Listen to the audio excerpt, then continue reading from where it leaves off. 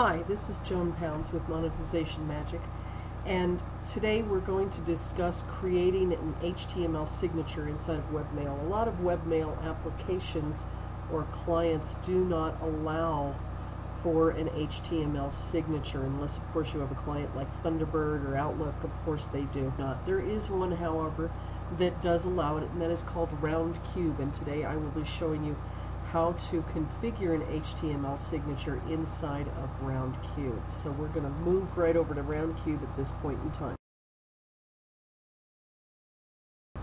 Here I am in my customer's email and they have asked me to set up an email for them um, with a logo and everything for their signature. So I'm going to come up here to settings and I'm clicking on settings and then I go to the identities tab and I click on that. I click on the identity and then I click on the signature tab inside of the identity.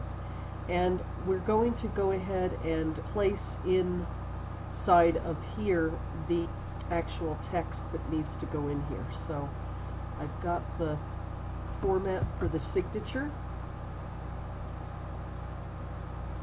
And I just paste that in and click on HTML signature and you can see how pretty this looks. You can now change this. Your name would go here, your position, company name, tagline, your email address, and your phone number, and then down below would be the logo. You will need to go ahead and store that logo on a website. If you do not have a hosting account where you can store your logo, you can always go out to Image Shack.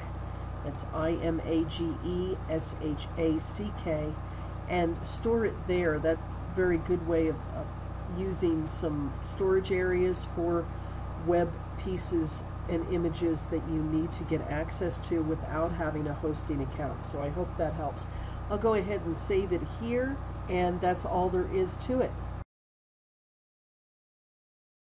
If you have any questions, go to this Ask Software Girl tab and you will be able to ask any questions there and I will get back with you and answer those.